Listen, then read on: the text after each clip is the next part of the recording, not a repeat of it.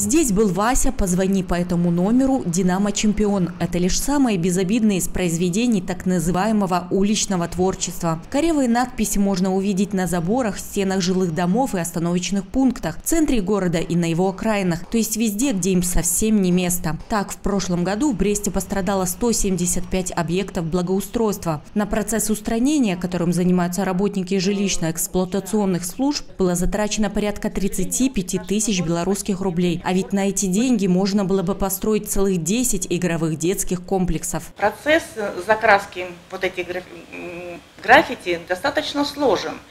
Потому что изначально нужно зачистить эту надпись, потом подобрать краску. Это самый сложный процесс. Шпаклюется, грунтуется.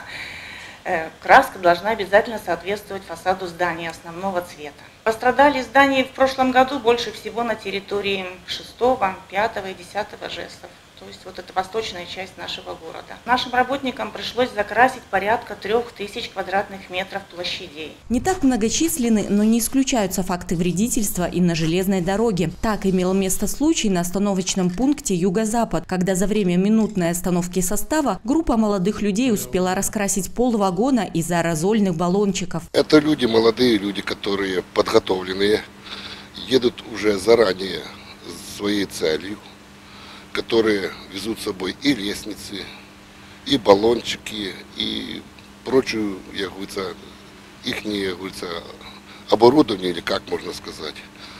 Ну, красят очень быстро. По прибытию в депо Брест дизель поезда это как бы лишние затраты, это одно.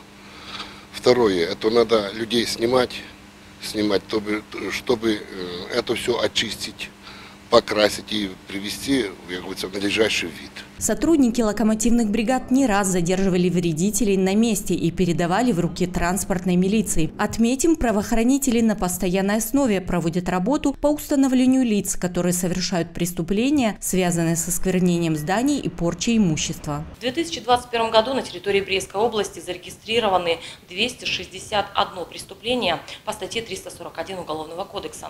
По 33 уголовным делам установлены подозреваемые лица. Согласно статье 11.3 Кодекса Республики Беларусь об административных правонарушениях за умышленное уничтожение либо повреждение чужого имущества, повлекшее причинение ущерба в незначительном размере, грозит ответственность в виде штрафа до 30 базовых величин. За осквернение зданий и иных сооружений циничными надписями или изображениями, а также за порчу имущества в общественном транспорте либо иных общественных местах наступает уголовная ответственность по статье 341 Уголовного кодекса Республики Беларусь.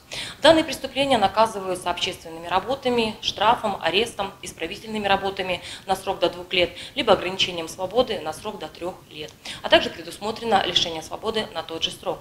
Зачем портить себе карму и оставлять после себя неприглядные пятна? Куда лучше заниматься созидательным творчеством, ведь это вносит позитив в нашу жизнь, поднимает настроение самому автору и всем окружающим. А вот такая настенная живопись вызывает только положительные эмоции, однако требует времени и определенных художественных навыков автора. При условии согласования с администрацией города такие уличные шедевры становятся еще одной маленькой достопримечательностью, украшают наш город и делают его ярче и красивее. Людмила Лагодич, Эдуард Бакунович, Юрий Лимонтович, телекомпания Бук ТВ.